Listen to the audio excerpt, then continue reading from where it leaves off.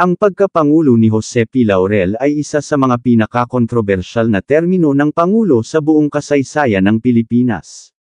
Kilala si Jose P. Laurel na puppet president ng mga Hapones. Ang tanging presidenteng inilagay sa posisyon ng mga Hapon para sumunod ang mamamayang Pilipino sa utos nila. Napagtanto ng mga banyagang sumakop na hindi makikilahok ang mga Pilipino sa kanilang mga layunin kung sa kanila manggagaling ang utos. Kaya naman ay naglagay sila ng marangal, at karespe-respetong individual na magtatatag ng kanilang layunin para sa bansang Pilipinas. Pero sino nga ba si Jose P. Laurel? Isinilang si Jose Laurel noong ikasyam ng Marso taong 1871 sa bayan ng Tanawan sa Batangas.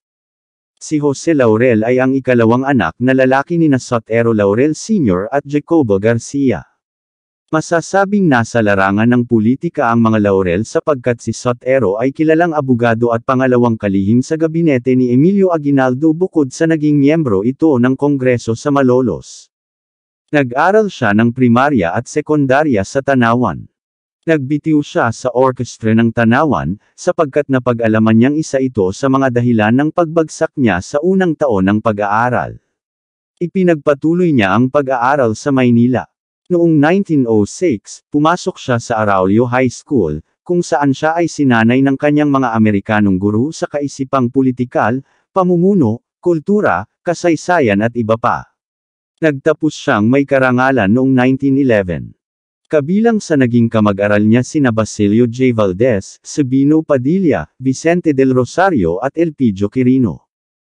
Nagtrabaho at natanggap siya bilang sakristan sa simbahan habang nag-aaral. Noong labing walong taon pa lamang siya, may naganap na kamuntik ng maging sanhi ng pagkawala niya sa larangan ng buhay at ng politika. Mapusok siya, at tulad ng pagkakilala sa mga Batangguenyo, may dala siyang balisong. Noong 1909, umuwi siya noon sa Tanawan dahil magpapasko. Nagkaroon sila ng pag-aaway ng kanyang karibal sa isang magandang dilag. Tinukod siya nito kaya binalisong naman niya ito bilang pagtatanggol sa sarili. Napuruhan ang kanyang karibal at namatay. Ayon sa korte ng unang dulugan, may sala siyang pagpatay at kailangang mabilanggo ng labing apat na taon. Sa pagdulog nila sa kataas-taasang hukuman, napawalang sala siya matapos ang isang taon dahil kanya lamang iniligtas ang sarili at dahil sa apela ni Justice Florentino Torres ng kataas-taasang hukuman. Ang kanyang naging tagapagtanggol sa kaso ay si Clyde DeWitt na isang magaling na manananggol. Binayaran nila ito ng 10,000 piso na siyang ikinaubos ng kabuhayan ng kanilang pamilya. Pinakasalan niya si Pasensya Hidalgo noong 1911 nang makapagtapos ng high school sa Araulio High School. Nagkaroon sila ng siyam na anak na sina, Salvador Roman, Jose Laurel Jr., Sotero Cosme, Jose Sotero Laurel III, Arsenio, Mariano Antonio, Natividad, Rosenda Pasensya, at Potencia na.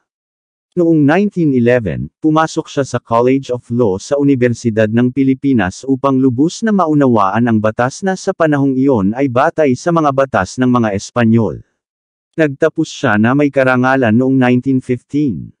Nasa ikalawang taon na siya sa College of Law at sumapi siya sa Code Committee na may tungkuling isaayos ang mga batas na namana sa Espanyol.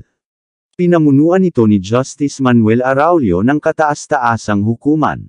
Napansin ni Thomas Atkins Street, isang tanyag na manananggol, ang mga kakayahan ni Laurel kaya hinirang siya nito na makasama niya at itinalagang magsali ng mga probisyon mula sa tomo ng mga nasasaliksik na dokumento. Siya ang nakakuha ng ikalawang pinakamataas na marka sa bar examination noong Setyembre taong 1915.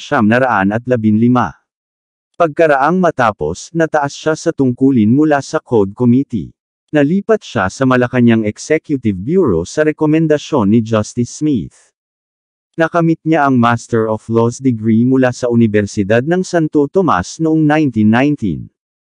Bilang pagkilala sa mabilis niyang pag-unlad at sa kanyang kwalifikasyon, napili siya ng sekretaryo ng panloob na ipadala bilang maging isa sa mga pensionado sa pamahalaan ng Yale School. Natapos niya ang doktorado sa batas noong ikalabinsyam ng Hulyo taong 1920. Ang kanyang disertasyon ay tungkol sa constitutional law.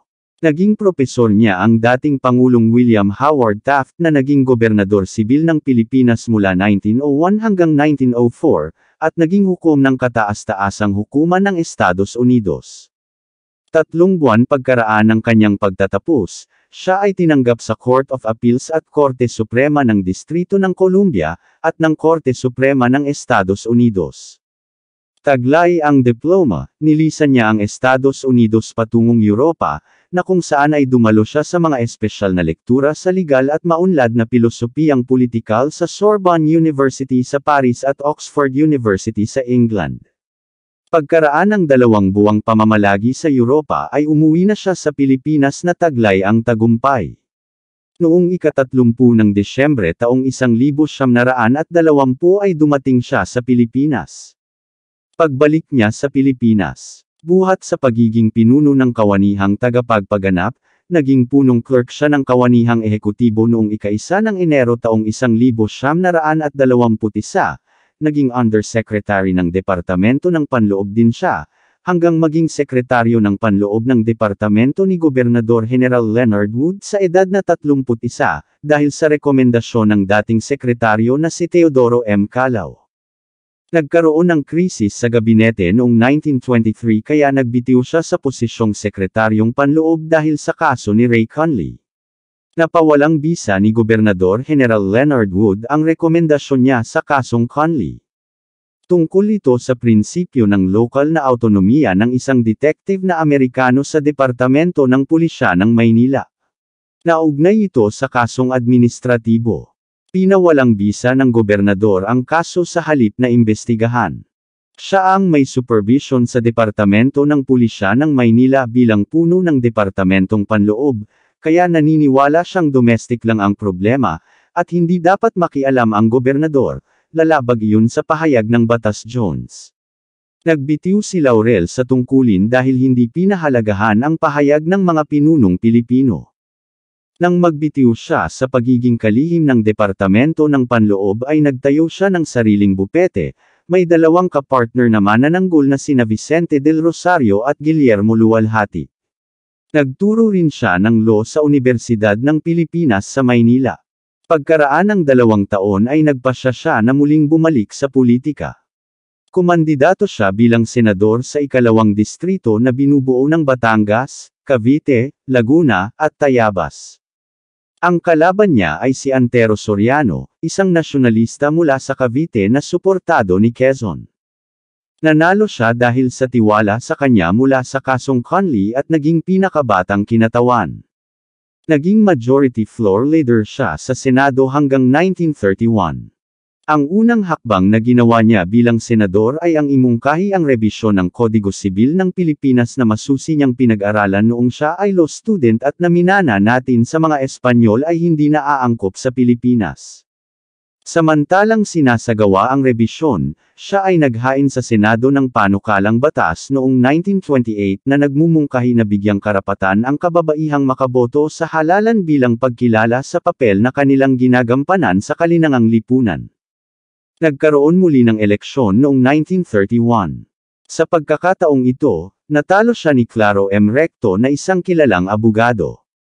Nang siya ay matalo, siya ay bumalik sa pagiging pribadong abogado hanggang 1934, nagsulat rin siya ng mga libro at naging chancellor siya ng National Teachers College.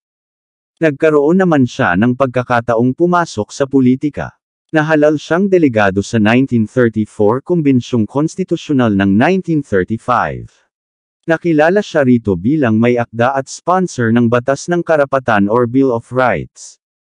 Pagkatapos ng pagpapatibay ng Saligang Batas ng Pilipinas ng 1935 at nang maitatag na ang Commonwealth ng Pilipinas, nahirang siyang kagawad na hukom sa kataas-taasang hukuman noong ikadalawamput siyam ng Pebrero taong isang libo siyam naraan at tatlumput anim, sa ilalim ni Pangulong Quezon. Ito ang pinakatugatog ng kanyang tagumpay bilang abogado. Timang taon siya sa tungkuling iyon. Sa hukumang ito, nadala ang kaso ni Ferdinand Marcos tungkol sa kasong pagpatay kay Julio na lundasan noong 1940. Personal na ipinagtanggol ni Marcos ang sarili niya. Naging interesado si Laurel sa kaso dahil marahil naalala niya ang kanyang sarili. Tulad niya, napawalang bisa rin ang kaso laban kay Marcos. Bago sumiklab ang ikalawang digmaang pandaigdig, hinirang siya ni Pangulong Quezon bilang kalihim ng katarungan noong ikalabimpito ng Disyembre taong 1941. Nang sumiklab ang ikalawang digmaang pandaigdig, nagtungo si Quezon sa korehidor kasama ng kanyang pamilya upang makaiwas sa mga kaaway. Nais sumama ni Laurel pero inatasan siya ni Pangulong Quezon na maiwan upang siyang humarap sa mga Hapon.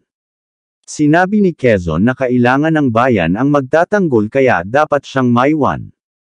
Nang sakupin na ng mga Hapon ang Pilipinas, itinatag ng pinakamataas na sangay ng imperial na puwersa ng mga Hapon ang Philippine Executive Commission, na si George B. Vargas ang tagapangulo at iba pang kilalang Pilipino bilang kagawad. Nahirang siya bilang komisyoner ng Katarungan noong ikadalawamput-tatlo ng Disyembre taong 1941. Di nagtagal, ginawa naman siyang komisyoner panloob. Ang pangunahing tungkulin niya ay panatilihin ang kapayapaan at kaayusan. Ito ang naging posisyon niya mula 1942 hanggang sa magtatag ng Republika ng Pilipinas noong ikalabing apat ng Oktubre taong 1943 ang mga Hapon. Noong ikalima ng Hunyo taong 1943, siya ay pataksil na binaril ng mga gerilyang Pilipino habang naglalaro ng golf sa Wakwak Golf at Country Club ngunit siya ay gumaling. Siya ay nanatili ng dalawang buwan sa Philippine General Hospital. Noong ikadalawamput-lima ng Setyembre taong 1943, nahalal siya bilang Pangulo ng Republika ng Pilipinas sa ilalim ng impluensya ng mga Hapon. Naglingkod siya sa bayan sa oras ng pagsubok at panganib. Adhikain niyang mabuhay lamang ang budi o katauhan ng Pilipinas, anumang kanilang kahinatnan. Pinamunuan niya ang kilusan sa pagpapasagana ng pagkain, at pagpapasigla sa mga kababayang hinimok niyang magtiis at huwag mawala ng lakas ng loob sa pakikipaglaban sa kahirapan. Bilang Pangulo, nagpatupad siya ng polisiyang, Filipino First, kung saan inalis niya ang lahat ng mga gwardya at tagapayong Hapon sa Malacanang. Aniya, dapat patunayan ng mga Hapon na seryoso ang mga ito sa pagbibigay ng kalayaan sa mga Pilipino. Hindi rin niya hinayaang mahuli ng mga Hapon si Manuel Rojas. Nang magsimula ang pag-atake ng mga Amerikano sa mga Hapon sa Maynila, napilitan siyang magdeklare ng digmaan laban sa Estados Unidos at Britanya, sa kondisyon na walang Pilipino ang isasali sa digmaan sa ilalim ng hukbong Hapones. Noong ikadalawamput isa ng Setyembre taong 1944, idineklara niya ang martial law na nagdedeklara ng pag-iral ng digmaan sa pagitan ng Pilipinas, Estados Unidos at Britanya. Ito ay nagkaroon ng epekto noong ikasampu ng umaga ng ikadalawamput-tatlo ng Setyembre taong 1944.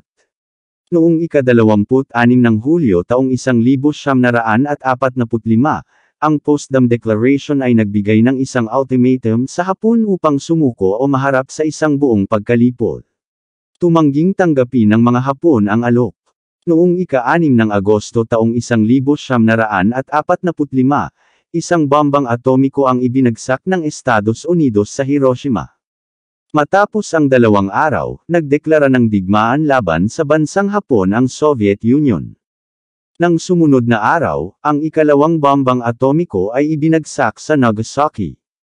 Nang madama ng mga Hapon na maaari silang matalo, inatasan ni Tomoyuki Yamashita, ang pinakamataas na kawani ng hukbo sa Pilipinas, na magsilikas sa Japan sina Laurel at ang ilang miyembro ng kanyang pamilya. Kasama ni Laurel ang kanyang pamilya at sina Camilo Osias, ang ministro ng Edukasyon, Speaker Benigno S. Aquino Sr. at General Mateo Capinpin, ang military aide at embahador na si George B. Vargas. Noong ikalabimpito ng Agosto taong 1945, mula sa kanyang tirahan sa Nara, inilabas niya ang isang ehekutibong proklamasyon na nagdedeklara ng pagkabuwag ng kanyang administrasyon sa mga Hapon. Nang sumuko ang mga puwersang Hapones noong ikalabinlima ng Agosto taong 1945, inutos ni General Douglas MacArthur na dakipin siya para sa pakikipagtulungan nito sa mga Hapones. Ipinadala ni Presidente Harry S. Truman ng Estados Unidos si General Douglas MacArthur upang pamunuan ang hukbong Amerikano sa sinakop na teritoryo. Nabatid ni General MacArthur na sapilitang dinala sina Laurel sa Japan. Kaya ipinadala niya roon si Lieutenant Colonel Turner upang arestuhin ang mga collaborator. Dinala siya sa piitan ng Yokohama at inilipat sa piitan ng Sugamo noong ikalabing anim ng Nobyembre.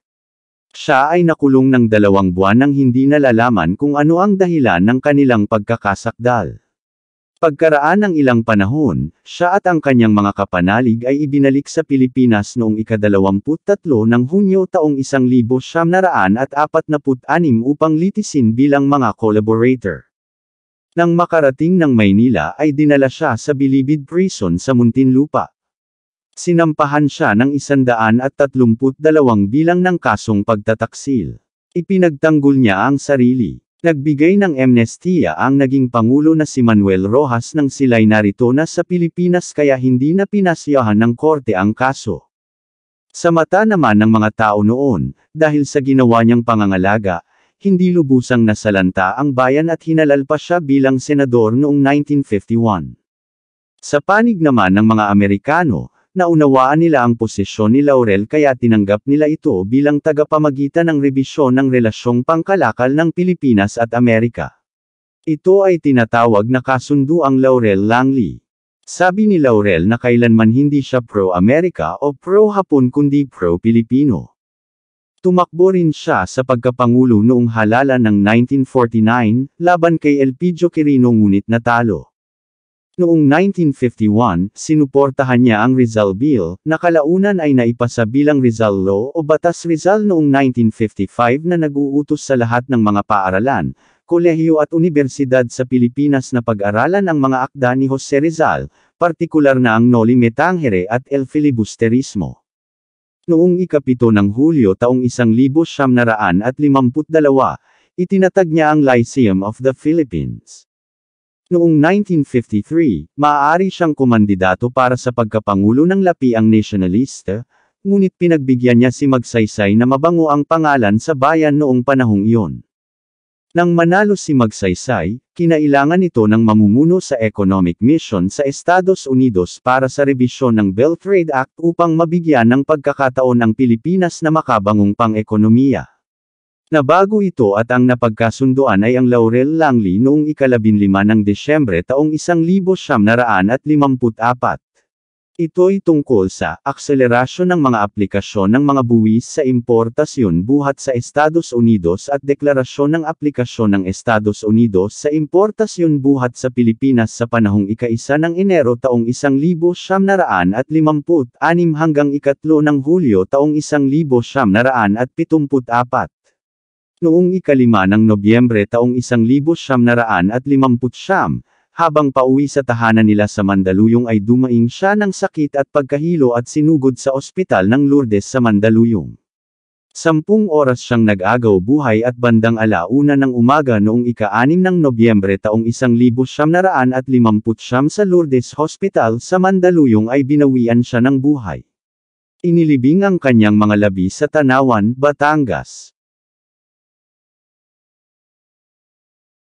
Kung kayo ay aking tatanungin, anong masasabi ninyo sa talambuhay na ito, mag-comment lang. So, ayun lamang ang talambuhay natin ngayong araw, sana ay may natutunan kayo. Huwag na rin kalimutang mag-like at mag-subscribe para maging updated sa mga panibagong video, maraming salamat po.